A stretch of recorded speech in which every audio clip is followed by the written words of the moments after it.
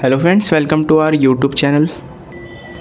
In this video i'm gonna show you how you can set up google assistant in your redmi smartphone. So let's set this. Before watching this video if you have not subscribed to our youtube channel then subscribe to it and like our video.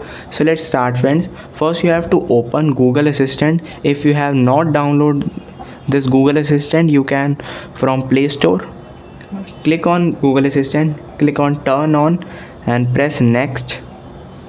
Here it is. You have to give access your assistant with hey google. Click on more. Click on i agree. You have to agree all this and say what is written on this. Say okay google what's the weather tomorrow?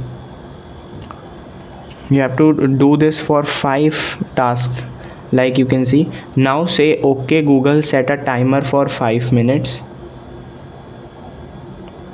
Hey google make a call. Hey google remind me to water my plants every monday. And friends you can see my voice is captured by the google assistant. And whenever i just speak it will capture my words. And press next. You can see you have to just click on the home button long press this and say